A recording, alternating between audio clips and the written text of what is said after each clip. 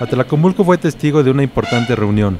En el marco del segundo informe de gobierno del diputado federal Emilio Chuaifet, se congregaron importantes personalidades del ámbito político para acompañar al actual presidente de la mesa directiva de la 61 legislatura federal. La mejor manera de agradecer la confianza es entregando cuentas claras.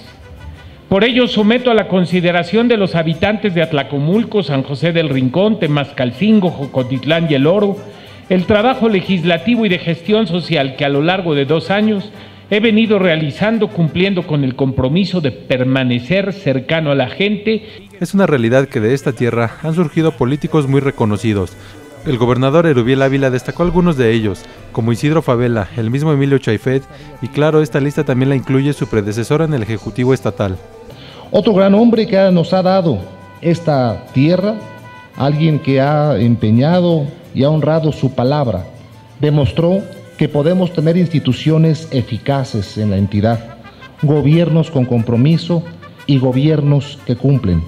Sabe muy bien que me refiero a don Enrique Peña Nieto. El gobernador señaló que cuando joven, la trayectoria de Chuaifet lo marcó para bien, lo cual lo hizo mantenerse en el ámbito político.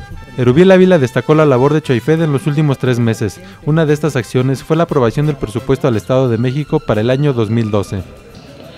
Tenemos un Estado de México fuerte, que ha logrado y seguirá logrando en grande. Tengan por seguro que en el gobierno del Estado haremos una aplicación esmerada, cuidada e inteligente de estos recursos, pero sobre todo transparente. Respectivamente, gobernador del Estado de México y legislatura federal, Erubiel Ávila y Emilio Chuaifet, 17 y 37 años de servicio público, ambos políticos muy destacados y reconocidos, que más por obligación o coincidencia, el respeto y la admiración mutua los juntó. José Antonio Valencia, TV Urbana Noticias.